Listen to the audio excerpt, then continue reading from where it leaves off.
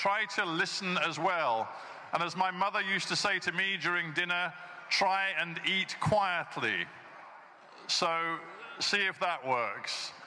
Um, as you know, I'm Stephen Sackur, and I present a show on the BBC called Hard Talk. Uh, and I tell you that simply because it's rather important for this session to know that I come to this as a journalist who takes um, objective, impartial journalism quite seriously. It's actually what I do and what my organization, the BBC, is committed to. But our debate this evening is going to be about the degree to which truth telling and honesty are qualities that we see in Ukraine, in Russia, in the reporting of the current conflict, and in the telling of stories about the history of this region. To what extent is truth telling a part of the picture?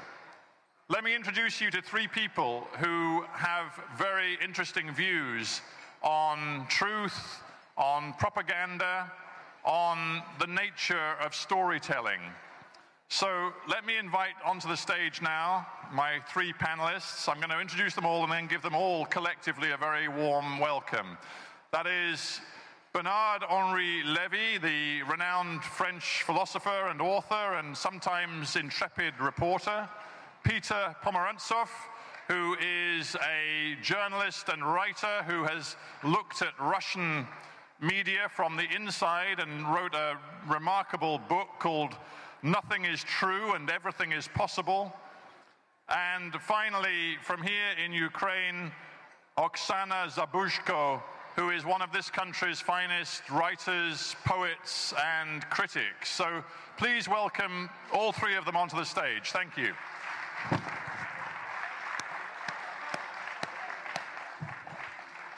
I'm rather hopefully assuming they're all here. Let's see if they are all here. Well, that's no excuse. Bring your food up here. I brought my wine. You can bring your food. Oksana and Peter and Bernard, where, where are you all? Ah, welcome.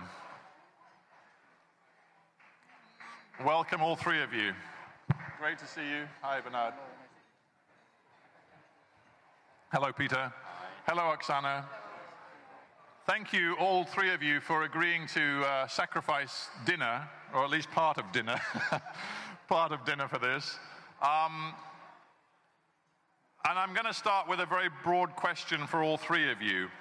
When you look at both Ukraine and Russia today and the stories that each country tells about the conflict, about right and wrong, and about history, what has happened to the truth? Does the truth play any real part in the storytelling that we see in this region today. And Oksana, I'm going to start with you because you have a vested interest. You live here. Do you have a microphone, by the way? I do. Uh, well, um, I don't know much about Russia. Um, I think I have to start with justifying my presence at this session? Well, don't worry too much about Russia. Let's, let's start by thinking about Ukraine. Uh, uh, well, um, you know, I would rather start with comparing uh, not Russian and Ukrainian, or juxtaposing uh, Russian and Ukrainian stories, uh, but with um, uh, Ukrainian and Western stories, because they do have uh, much in common, so to speak, and we are all in the same boat. Um, and that is um, neither the West nor Ukraine has, in fact, a story of its own of what is happening. And uh, I have to confess uh, that I kind of shudder every time when I hear from my Western counterparts something about Ukrainian story, Ukrainian narrative, Ukrainian version of this and that, because there is a taciturn assumption uh, behind such statements uh, that Ukraine owns uh, a public space uh, of its own. Uh, for the discussion uh, of the vital matters of uh, national existence and for getting some national consensus, uh, that's a big mistake. Ukraine does not. Uh, and um, Ukrainian media don't really represent the nation. Uh, we are all subjected uh, to um, the long-lasting effect of the Russian story, uh, which uh, back in my students' years, uh, I'm old enough to remember Soviet times uh, pretty well, uh, was called ideological subversion. And its target has been uh, to create, it's not just about propaganda, it's more than propaganda. It's the um, ambition to create um, in the opponent's society a totally distorted picture of reality where no one, uh, despite uh, the abundance of information, would be able uh, to come to sensible conclusions in the interests of defending oneself and defending your own country and defending uh, your community or family or whatever. Uh, and uh, we, uh, I guess you're getting bored. No, I'm not getting bored, but I'm interested when you talk about uh, your memories of living in Ukraine when it was part of the Soviet Union, are you suggesting to me that, that Ukraine is somehow still dealing with and damaged by that past when it comes to learning how to be accountable, how to tell the truth about itself as well as its neighbors. Is Ukraine not in a position to no, do that? No, no, no. I'm suggesting much worse than that. I'm suggesting that um, uh, Ukraine is neighboring the country, uh, which is ruled actually by the successor of the same KGB, that has been responsible for all these techniques of the ideological subversion, mm. and that the same techniques that has been in use in the so-called Cold War times are still in usage, and uh, but, but you, you, mean in Russia? You, no, I mean in, I mean in Ukraine, I mean in Great Britain, I mean in Europe, all over Europe. I think that's what I mean by saying that we are all, in a way, you know, victimized by the uh, Russian story. Okay, to make myself perfectly clear, I don't want to take all the time on this panel, uh, but I think it's an important point to be made. Uh, like for some 10 years or more, uh, and I do have, you know, this prospect of um, how Ukraine has been perceived in the West uh, for the past 20 years, so to speak. Uh, like when you talk to, I'm translated for a Ukrainian in a reasonably um, handsome amount of countries, and I go to the presentations and I talk to people and to the press. Uh, and it's always been like, oh yeah, we know everything about Ukraine, it's a split country. Oh, it's a split country. Yeah, half of it is pro-Western, half of it is pro-Russian, and uh, you, you know this cliche. It's very popular. You may you might have known anything else about Ukraine, but you definitely knew that this is a split country. Mm. So this has been actually a long information stage preparing uh, for the current war creating this mental picture of Ukraine as a non-existent country, split country, and no one, in fact, was asking, uh, when buying this cliche, was asking oneself, okay, if, uh, if half of Ukraine is pro-Western and half of it is pro-Russian, where is Ukraine itself? Uh, so this is this is a kind of this um, you know very um, very cunning propaganda tricks, and there are many of them. And uh, the interesting thing, which passed unnoticed, uh, that uh, last year, uh, in March 2014, uh, in the same days uh, when the attention of the world had been focused on the annexation of Crimea, in the days of this Crimean fake referendum, uh, there was another momentous thing that happened in Russia. Um, that is, Russian government has issued a law prolonging the term of secrecy for the documents of uh, TK, NKVD, KGB mm. from 1918 to 1991. And I think it's uh, the best proof that the same techniques are still in usage. And yes, right. they are. We are all subjected to the information war, which had been lasting for the past 20 years. Okay, well, you put that into a very clear context, the context of, of the Soviet legacy. Yes. And, and yes, because there is this succession. I understand. And as you point out, the guy in the Kremlin today is with long experience of the KGB. That's where he comes from. It's where his mind was formed.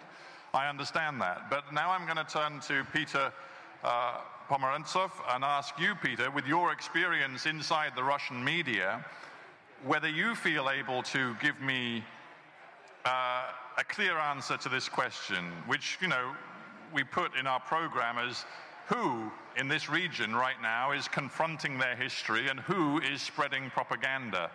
Oksana's answer seems to be that because of the Soviet legacy, it's very hard to actually see that there isn't propaganda coming from many different places. But what, what's your answer to the question? Well, um, the propagandists are spreading the propaganda. But th there's um, uh, what's really unique about this region.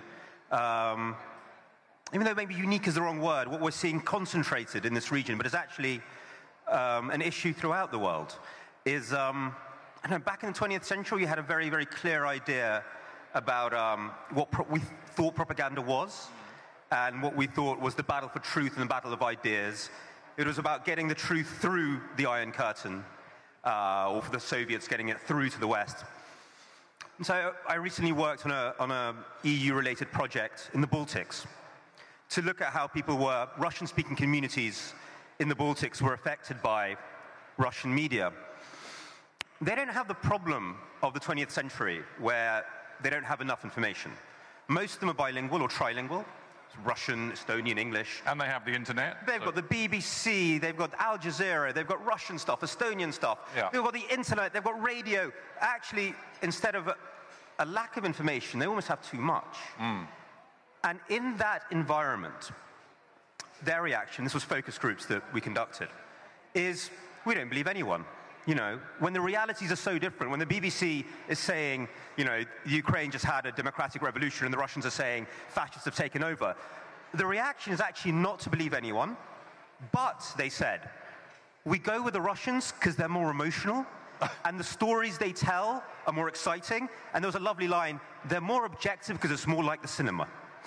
Um, so, so be, be clear with me, because you know the Russian media pretty well. When we watch Russia Today, today, and we see things on Russia Today which to our Western eyes look like, frankly, pretty crude propaganda, stories uh, about you know the nature of the war, which tell us that absolutely not one single Russian member of military security forces has been involved that the Ukrainian side is simply dominated by neo-Nazis and fascists and da-da-da-da-da-da. It sounds to us incredibly crude. What, what is the purpose of it? Is it to be credible or is there something else going on? No, no, no. The, the point is, mm, this is the essence of disinformation, always has been, just to muddy the waters, sow confusion, say people are like, well, I don't really know what's going on. Ukraine's far away. Why should I care? Just break down, muddy the waters, slow everything down. But with the Russian speakers, we're talking about this region, because we can go back to Russia's strategy in the West. So people in the Baltics would say, we don't believe anyone, but we, move, we lean towards the Russians because they have more emotional stories. And the Russian Deputy Minister for Communications, the Deputy Press Minister, openly says, yeah, we do disinformation, doesn't matter. Our, ratings are really high. It's a great show. And basically, a, in this research that we did in this Brussels project, there's a lovely quote from a, a Russian academic uh, at one of the top universities who sort of said, the point of Russian propaganda is they've destroyed any border that was remaining. And it was already pretty damn shaky after several you know, Iraq wars. But uh, completely destroyed the border between facts and fiction. And that's done openly, that's proclaimed. There's no, the logic is there is no truth out there, you'll never find it out, but go with us because our emotional content is more vital. Deeply cynical. Cynical but effective, you're saying? Well, the funny thing is that, that cynicism opens the gates towards sort of it breaks down critical thinking, and the other end of cynicism is actually something quite medieval and emotional, a world of myths and storytelling. Yeah. Because once you don't believe in facts, then you're just left with that. Right. So, Bernard, you're an outsider to this, but you spend your time, well, some of your time, writing and thinking about the nature of dictatorships and autocracy and authoritarianism. When you look at this region, in terms of the information flow, of the way people write their histories and present their news and current affairs, what do you see happening? What is absolutely sure is that in any conflict, in any battle, the question of the truth and of the lies is part of the battlefield. This is since uh, the world is world, since the Greeks, since uh, Thucydides in the ancient Greece, you don't have any war without the question of the truth being involved and without a conflict of narratives. This is the case now between Ukraine and Russia. I've, just, I've, got to interrupt you for a second because you, are a philosopher, and I just want to ask you the most ignorant and basic philosophical question.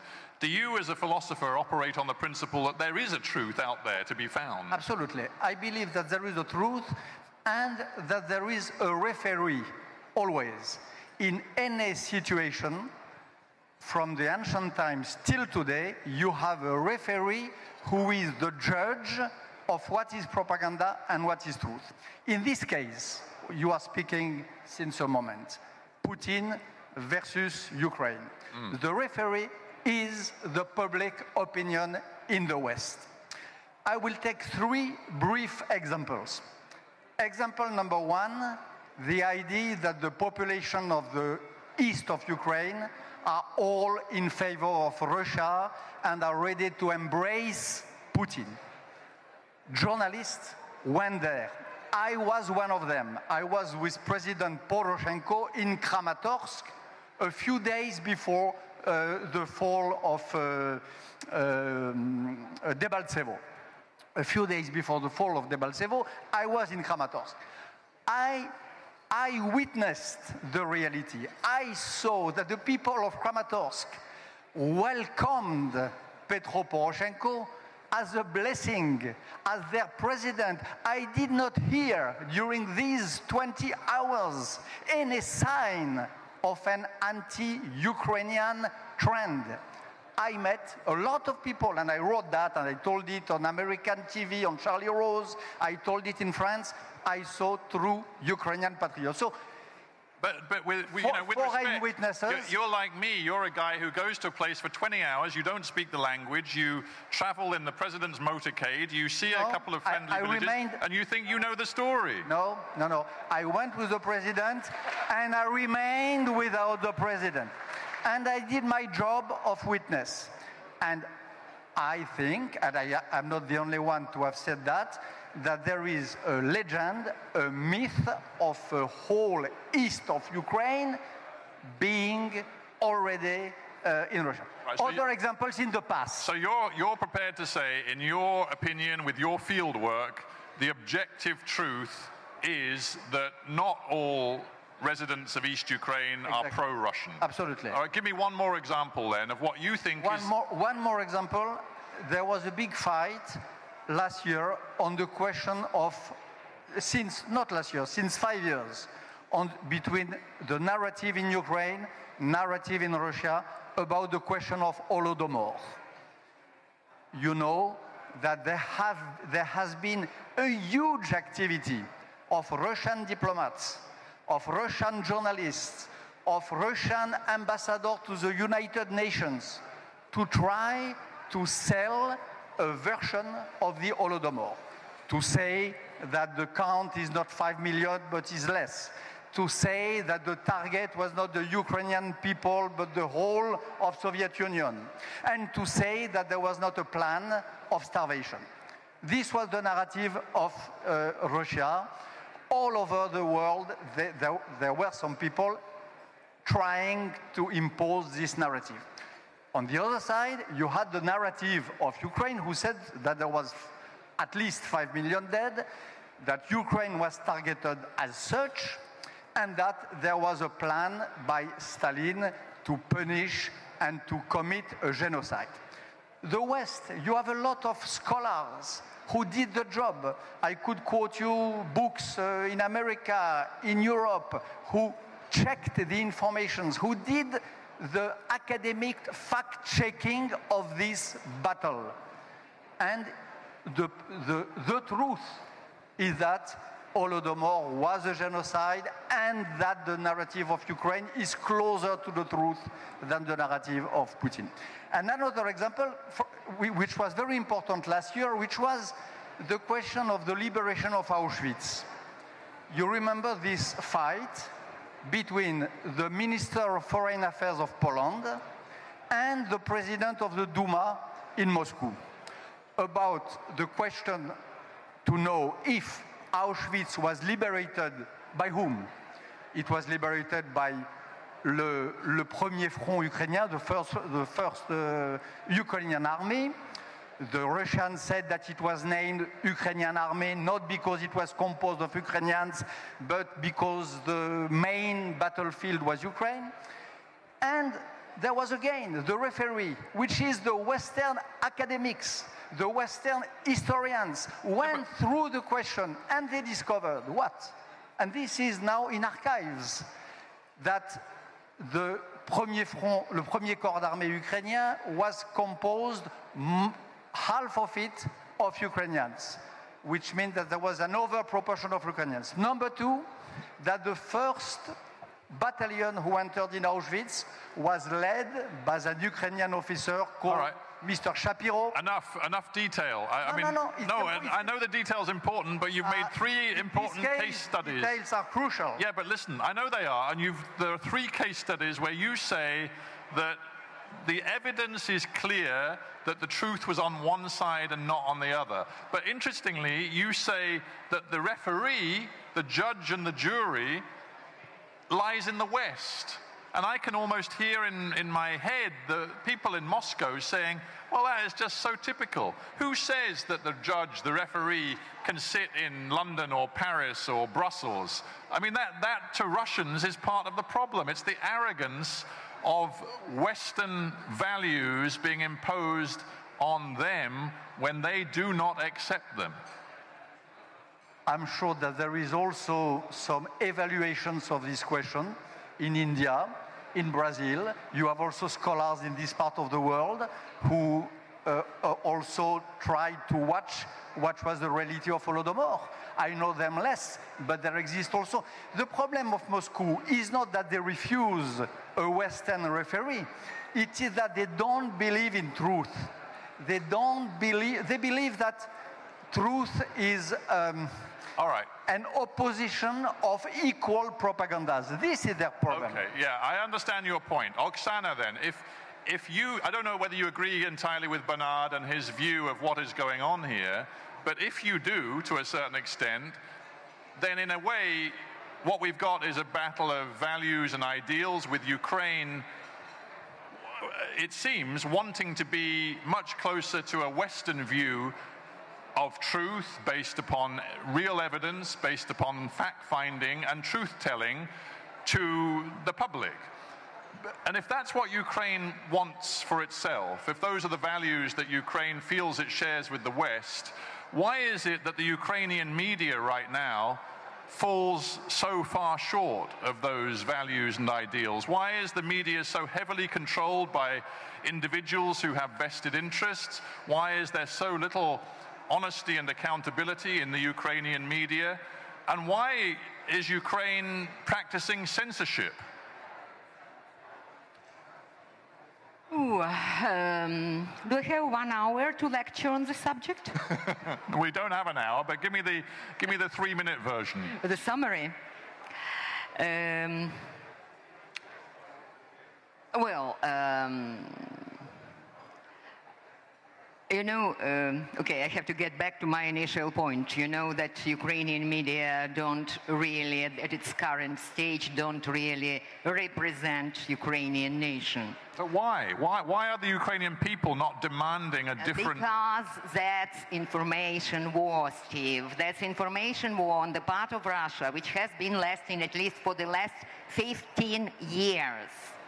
Back in the 90s, uh, Ukrainian media had attempted at creating this public space for the national discussion and uh, and all these things. A, a genuinely free and open kind space. Of, kind of, you know, uh, post-colonial rejuvenation period that we were having in the 90s. Right. Uh, the dramatic turn uh, happened, uh, the most dramatic change had been introduced uh, on the turn of the 90s and uh, years 2000 and 2000. Uh, and since then, actually, we get more and more Russian presence. We've been getting more and more Russian presence in Ukrainian media, more and more Russian content in Ukrainian media, more and more Russian supervisors in the major Ukrainian uh, media. Uh, and uh, actually, what you hear now as Russian demand of Ukraine, this federalization as the dismemberment on the administrative level, Yeah, has been preceded. Uh, let me finish. Let me finish. That's important. Uh, has been has been preceded with this dismemberment of the Ukrainian, the whole Ukrainian information domain. Like there is actually no single newspaper in the country which would have been um, you know, read and discussed uh, in the same day from, say, Uzhgorod to Donetsk. There are regional TV channels, there is regional press, there are different areas of value, different channels of value, and so, so on and so forth. We've been, we've met this war, we had to face this hot war, so to speak. I you know, know, as a nation which has a very little knowledge of itself because there has been a total misrepresentation of what Ukrainian society has really been engaged into and has been really busy with for the past 15 years. My question, though, and maybe I'll bring Peter in, because I know you, you think about these things, is, is why. I mean, obviously, Ukraine is in a very difficult place right now, economically, politically, militarily. We understand that. It's not easy for Ukraine. But why is Ukraine not more confident about embracing Bernard's version of, of truth telling, of, of uh, I suppose, Western values when it comes to storytelling, media, news coverage. Why is there a lack of confidence in this country? Why, at the most preposterous level, does Ukraine's government think it is worth banning books that it sees as biased towards Russia, even banning Gérard Depardieu from coming to this country. I mean, it's just ludicrous. I mean, if you're a confident country, you don't mess about with things like that because you know it, it, it can't harm you. Why is Ukraine not more confident? Um, well, actually, it's largely your fault, Stephen. Um, there was a terrible mistake made in the early 1990s when um, there was a real opportunity for the West to help nurture the foundations of democracy as a reality-based public discourse here. And in that moment, when it was so important to create real public broadcasters in Ukraine, in Moldova, actually throughout Eastern Europe. We have a crisis throughout Eastern Europe where media is owned Right. by vested interests who don't look at it as an element of public discourse, but as mini information war. I mean, the TV channels here were used for one oligarch to throw disinformation at another oligarch. Um, very similar to Russia, but Russia has centralized that into um, you know, an international relations weapon. Yeah. But it's the same traditions, and it was a terrible failure of the West uh, when it had a real moment when it could do something to nurture democracy. And someone had this But you didn't know. But hang on. That, I mean, that's a bit like so many different forms of of blaming the the the Westerner, the colonialist, the imperialist. I mean, in the end, this change has to come from within. I mean, why aren't there more Ukrainians who can see what you guys all can see, which is that playing Russia at its own game of propaganda, cynical manipulation, information wars isn't the way to a, a healthy, accountable society. But where would it come from, Stephen? I mean, in the Soviet Union, and Ukraine was part of the Soviet Union, there was no idea of media as the fourth estate, as the responsible public discourse. That's something that we're nurtured with in Britain, but that's unique. Uh, quite the opposite. The instinct here was always for a journalism in the Soviet tradition, where the journalist is a propagandist by definition. The idea that the state would nurture an opposition to itself in the media is sort of surreal.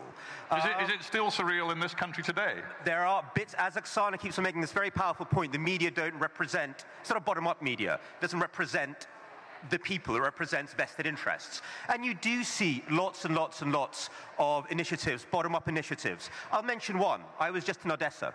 Uh, I'll try to be very brief. I was in Odessa, which is a city which has 48 TV channels, all owned by vested interests, all giving their own narrative. Like a, a little mini kind of a, a dramatization of what the country is going through. And they had this terrible fire on May the 2nd when 40 pro-Russian I remember, yeah. people died. The police wouldn't do anything because they were involved in it in their own devious ways. So a bunch of civic actors, journalists, both pro-Russian and pro-Ukrainian, got together and created a public investigation, which at least gave the journalistic community a sense of what were the facts. And those kind of little civic spurts towards the truth, Right. they do happen in a moment of crisis. But um, uh, I think there's a huge role to be played now in building up a true public broadcasting here. And it's not just here, it's actually a, a problem throughout Eastern Europe. No, that's a, a point well made. And the US. This is a, a, a regional issue, and, and frankly, it goes beyond this region too, but it is so important right now for Ukraine, it seems to me, to get to a place where it, it, it is developing uh, a more challenging, a more accountable media space. Um, we have a few minutes left, and I can see a couple of hands up. So I don't know if we've got any roving microphones, uh, but we've got a terrific panel, and uh, yes, we do. So look, we've got time for a couple of questions. So keep them brief. Go on, sir. Uh, okay, thank you. Uh, three points. First, You're not allowed three points. Make the f- make your favourite point because we're a bit short of time. this will be my three favorite points. the first, uh, don't use the word of propaganda uh, because there is no communist time. There is no propaganda. Propaganda was during communist time. Second, think about the substance. What kind of message can be delivered by the people who have a good message, good news? And the last one, if I follow uh, the, the, the panel, excluding uh, Honorable uh, Chairperson, uh, you are speaking like uh, people from the 20th century. Believe me, you, you are in the 21st century. There is a social media. You have a lot of a lot of things to do without any control. The question is, do you want to do that as a Ukraine, as a state of Ukraine, or you give it up, gave it up? So that's the message. Thank you. Okay. Yeah. Comment on that? Yes, you may. Um, I think um, that's a very interesting point. Uh, what century are we in? And uh, what is really at stake in this war? Um, I'm deeply convinced about that. And now I'm deadly serious.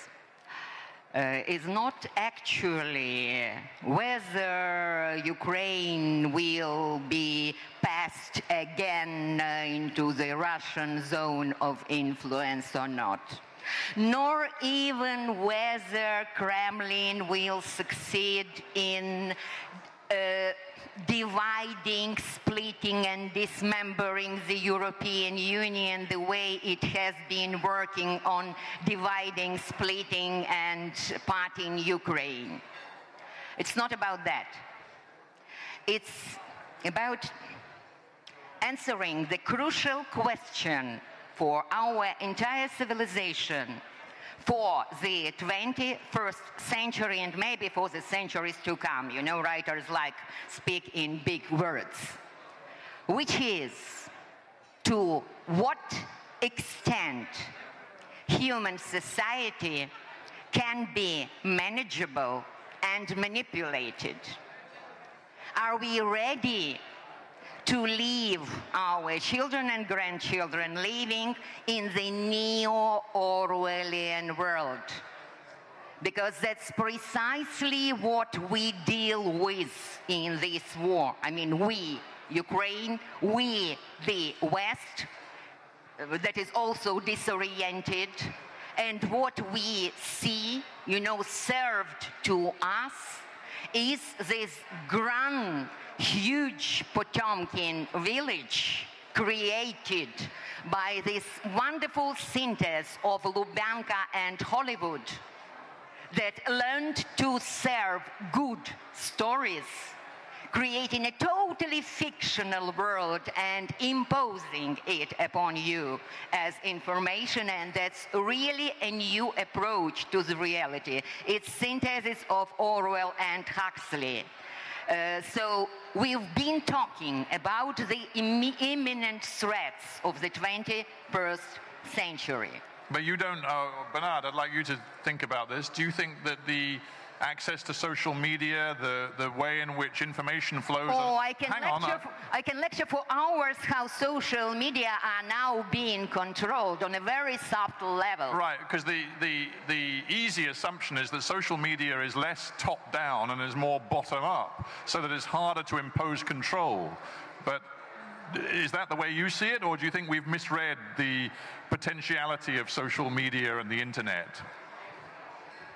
Number one, I would like to reply to this gentleman that to build a proper public space is always a very long, very difficult task, and probably unfinishable anywhere, not only in Ukraine, but also in countries which are supposed to be much more mature in terms of democratic values. So it's always a big thing and even in France, for example, you have people who believe that the press is not as free speaking as it should, etc., etc. Number one. Number two, press in Ukraine is not so bad, or at least I would say that seeing from where it comes, from the Soviet times, from the communism and so on, the process, the progress is rather quick. And number three, there is the social networks. And the social networks can be, it's very hard to reply, can be the worst and can be the best. It is very often the vehicle of the worst bullshits and the worst conspiracy theories, and it is the fatherland, the nest of all the conspiracy theories, which are the enemies of the truth. But the social networks are also the antidote the counter poison to that. It is both. And there is a battle in the 21st century, which I know a little also, between the two, between the poison and the counter poison. And you have some moments in history where the counter poison wins on the poison. For example, the time of the Maidan. I was here in Kiev rather often during the Maidan. You had a press which was expert in propaganda, which was very often in the hands of Yanukovych, and it repeated on and on lies.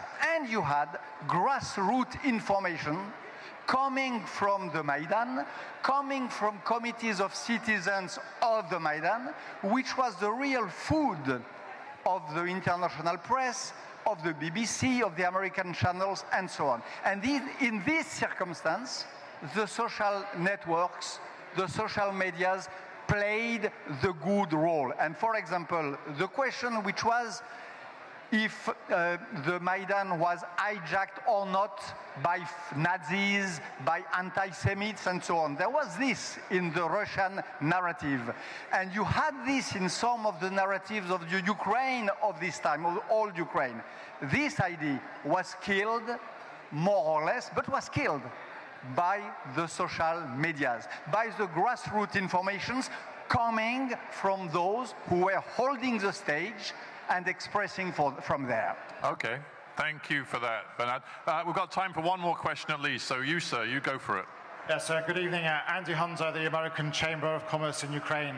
Um, I would like to talk about the consequences of the propaganda, especially in terms of the consequences for the uh, investment community and business. What we see that many of our uh, member companies, the companies investing in Ukraine, it's what messages they have to send back home to their uh, uh, corporates back in the US or across Europe, is when they mention Ukraine. Um, some uh, countries, for example, in Asia, they actually ban their employees from traveling to Ukraine because of the perception. I mean, we have this distorted perception. So my, my, my question to the panel is, you know, this distorted perception, how, how do you fix it? I think uh, Peter's book is an excellent book. I think it just highlights the problem. It diagnoses the, the illness. But what, what is the remedy? How do you fix this problem of especially communicating to investors, to the big corporates, about what the reality in Ukraine is today? Thank you. All right. Well, Peter, you got an accolade for your book, so now you come up with a solution. Well, I mean, in the case of Ukraine, the problem goes much deeper because Ukraine hasn't really been able to communicate its identity in the world. Um, it was very easy for the Russians to go, it's full of fascists. Um, as you remember, there's a terrible BBC documentary about the risk of uh, right-wing violence during 2012 European Championships, uh, which was really just feeding, you know, this, this, this bizarre image of uh, Ukraine as a, a, a bastion of the far, far right, which the, it's present, but much less than lots of countries in Europe. Um, so because Ukraine hasn't been able to communicate itself internationally, Russia and whoever else can just throw images onto it. The answer is for Ukraine to start expressing itself much more coherently and uh, much more effectively. But your message today, because we're going to have to wrap this conversation in a moment, is that if we're buying the concept of an information war and we see that there is a great deal of cynicism about the way in which information is used, that right now uh, Moscow is a far more effective player than any other player on the field. Oh, well, you know, it's very, very good at propaganda because it can centralize it. Uh, the Kremlin has a natural gift towards theater, always has done. Um, but its propaganda can only be as good as its overall strategy. Uh, at the end of the day, propaganda is just a handmaiden to politics. We shouldn't get carried away about sort of like, you know, these, uh, the huge billows of propaganda. Your propaganda is only as good as your politics. And I'm not entirely sure the Kremlin's politics are all that good. Right. Well, uh, I, am sure many in the room would share that feeling. Uh, Oksana, a final thought from you. I mean, you've repeatedly wanted to put this in the context of, of the history of the Soviet Union, uh, the, the power and reach of, of that communist idea of what information and storytelling is all about and how it can be manipulated and used and the long-lasting effects of that. Are you um, feeling quite bleak, quite pessimistic about the legacy that has been left behind in Ukraine and the difficulty of Ukraine to reach a different place when it comes to storytelling, history telling, and truth telling? Uh, I'm deeply pessimistic about the fate of humanity, Steve. Are you? Yeah. Well, a, not just about yeah. Of course, you know my country is part of it. Uh, Especially the people in this room. But as I said, we are all now in the same boat, we are, and we are hardly aware of the scale of this threat. And, uh, and yes, it is writers' business, you know, to scream like Cassandra, wake up, Troy, wake up, Troy. Yeah, I mean, I can't, I can't be anything else but that. Uh, so to answer your question, uh, it has just come to my mind um, an interesting example. A couple of weeks ago, I've been interviewed uh, by a Hungarian journalist, a young woman, most of whose conscious life was spent in the EU. And uh, I've been explaining her all this business about what, uh, what is this distorted picture of Ukraine. Like Ukraine does not speak, speaking, Ukraine not speaking for itself and have not speaking for itself for 20 years, while Russia has been telling this made up uh, fake Ukrainian story to the world uh, instead of Ukraine. Uh, and yes, that's colonial, post-colonial, whatever. I mean, British won't understand that anyway, so you just take it for granted.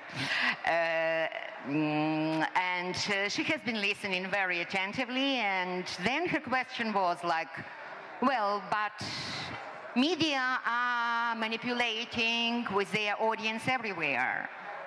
Media are manipulative by definition. And this has been precisely this argument that I remember from the techniques of the Soviet counter-propaganda. You know, to even uh, Right. the scenes, to even the faults and blah, blah, blah. And here is this lady in her 20s. And I've been, uh, you know, immediate in my reaction. And I said, well, you know, that is a difference whether you manipulate your audience to make them to buy a new brand of shampoo or whether you manipulate your audience to make them to go to another country to kill the people there for a made-up reason. And I think this is the drawing line. What kind of feelings, are mass feelings, are used for manipulating? If it is um, well, natural human desire to have a better life, it's one thing. If it is the aggression, jealousy, hatred that is getting mobilized, uh, then this is the technology of the induced madness.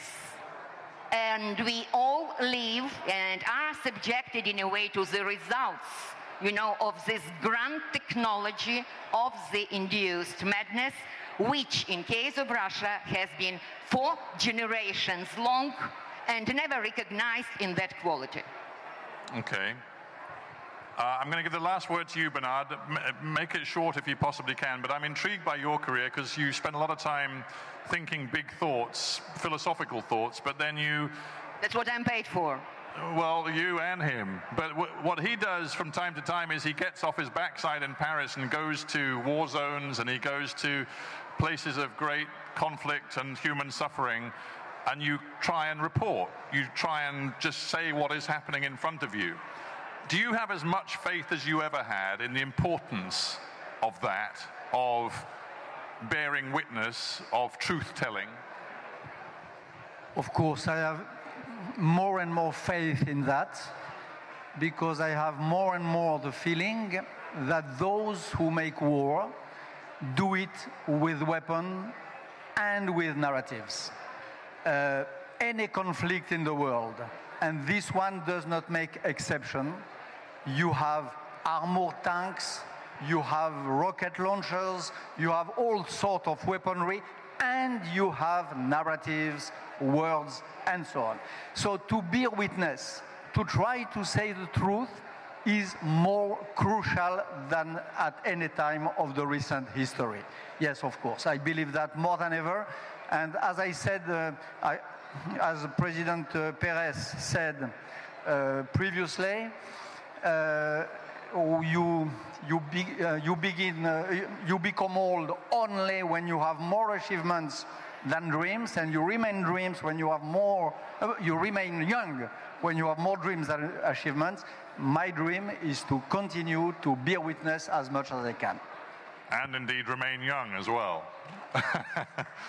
well, that's a great way to end. Uh, ladies and gentlemen, you have followed my instructions and eaten quietly, at least pretty quietly. And I thank you for that. And if you would just give all three of my panelists a very, very warm thank you for a terrific discussion. Thank you very much indeed, panelists. And um, let me just say, continue to enjoy dinner.